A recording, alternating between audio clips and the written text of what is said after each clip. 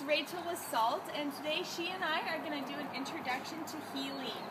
So, um, I know that we have practiced loose leash walking with Salt because she uh, turns into a little bit of a sled dog.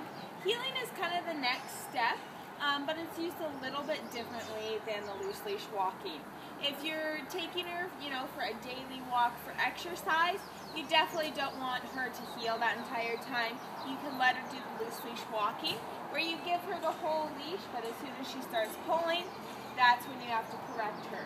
But she still has all this room to kind of walk around and explore, and she's not, um, she doesn't have to be right next to you. Heeling, however, is a bit closer keep it on one side, and she always sits when you stop. Now, um, it, even though she won't be close to your side for loose leash walking, it is a good idea to get her in the habit of sitting whenever you stop. That way it sets her up for meeting new people and new dogs instead of trying to run up to them and jump on them. She, if you have her sit every time a new person or a new dog approaches you, um, she'll start to do that automatically, and so you can control when she's allowed to um, meet that new person or new dog. And also, um, like on your walk, if you come to a, a crosswalk or something, you want Salt sitting safely by your side and not going ahead of you into the street or anything like that. Um, but enough about that. We're going to go over the heeling. Uh, some useful applications for heeling would be like taking her into the vet's office where there are a lot of dogs around, you know, they might be sick and stuff like that, so you want her closer to you, paying more attention to you. Heeling is a more active command, and so her focus needs to be on you instead of exploring. Keeps her nice and close to you, and she'll sit calmly beside you while you get her checked in at the front desk and all that. Or if you go to Petco, um, say there are lots of dogs around, you don't know how they are with other dogs, and you're going through a small aisle or something, putting salt in a heel will keep her nice and close next to you. So, we're going to start off with her here. Salt, come here. Now, we usually do heeling on the left side. And good girl. This is exactly how we're supposed to start. So, I just baited her up into a sit. Now, I'm going to start off with my left leg, the leg that's closest to her, and say heel. And we're going to walk around a little bit. She's going to stay right here. She's not going to get any further in front of or behind me.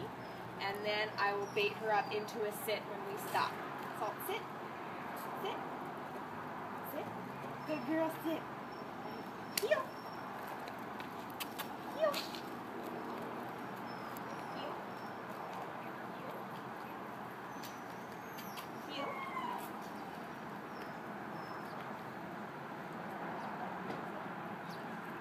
Good heel. Good girl. Good girl heel. Okay, so that was pretty good. Um, now, if she was getting too far ahead and you're lagging a bit, notice I told her to heel again, and I used the leash to either kind of pull back on her or pull her up so that she was right next to me. Uh-uh, nope.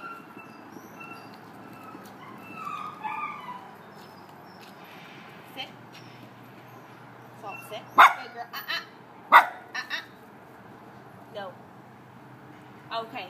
Um, and also when I stopped, instead of saying sit, no, sit, no, sit, no, sit, salt, good girl, stay. Um, instead of saying sit, I used a treat to bait her up into a sit.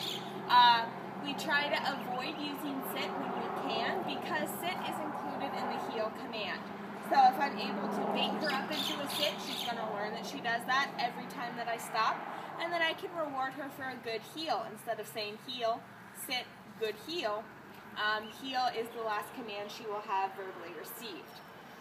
So we're going to keep going. Now this time, if she gets in front of me, I'm going to do left turns. And in doing the left turns, I'm going to be lifting my leg up and kind of getting into her space like that.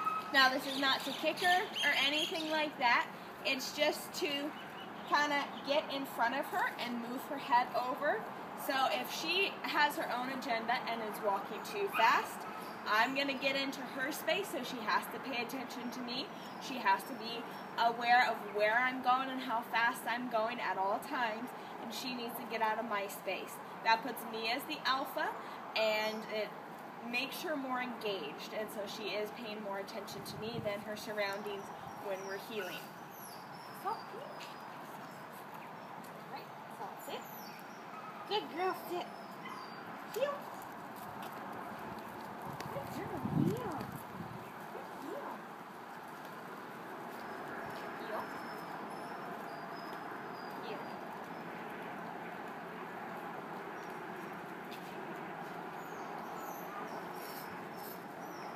Good girl, heel. Good girl, heel. Uh-uh. Off. Sit. Heel.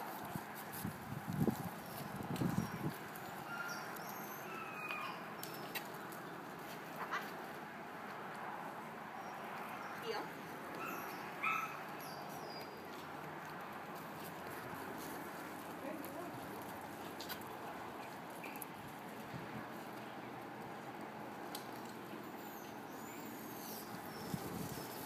Good girl, heel.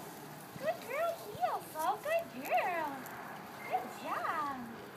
Okay, that was really good. So you could see I was trying to turn into her a bit there, but a lot of what she was doing was um, kind of going off to the left and wandering off that way. And so I'd have to really reach over to get in front of her to do it that way. So when that's the case, if she's getting too far to the left of you, do an about turn, which is just a 180. So you're going up, just turn around, and go right like that that gets her a bit um, uh, it gets her attention a bit better and um, you do a quick turn and you're walking away. It um, catches her attention right away and she has to act quickly to follow you. Now she did a good job and she's good with her sit when we stop. Um, i'm just able to bait her up. That last time i didn't even have a physical treat in my hand but she got the concept well enough so that's really good now for the next couple minutes, I'm just going to keep on repeating heeling patterns with her without stopping to uh, talk in between like this. Now that we've kind of gone over everything, I just want to give her some good practice. So.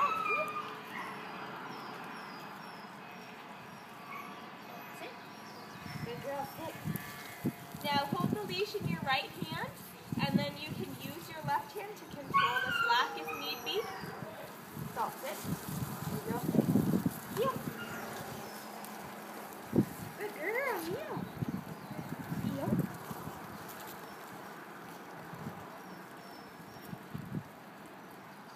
Good girl, heel. So good girl. Heel.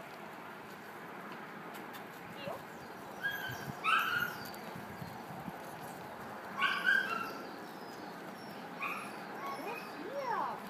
heel. Heel.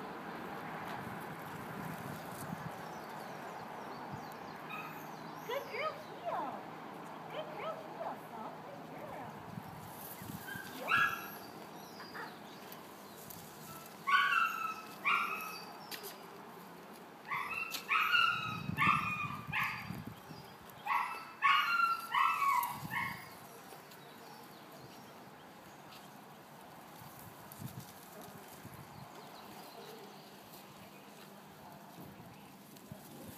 Uh-uh. Off. Good girl, heel. Good girl. Okay, now when you praise her like this, make sure she still doesn't jump. Remember we were working on that off. Good girl. Okay, so this is another instance where heeling would be useful or just having her sit when you stop in general. So that instead of her coming up and jumping on someone, she's sitting, they get to choose when they approach her and they're able to um, control her jumping a little bit better or at least they're expecting it. Um, if they're going up to her instead of her just running up and jumping on them right away. Um, that's just a little side note. But she's doing really well with her heeling. She responds well. Um, I'm using a little bit of treats here and there to give her encouragement, uh, which it does seem to be helping, but she's not too treat dependent, which is good. So you don't have to use a treat every time you do heeling with her. Make your praise and your affection her treat. and um, that's really the best way to do it. Hush salt. This was Rachel and Salt, and we are doing an introduction to heeling.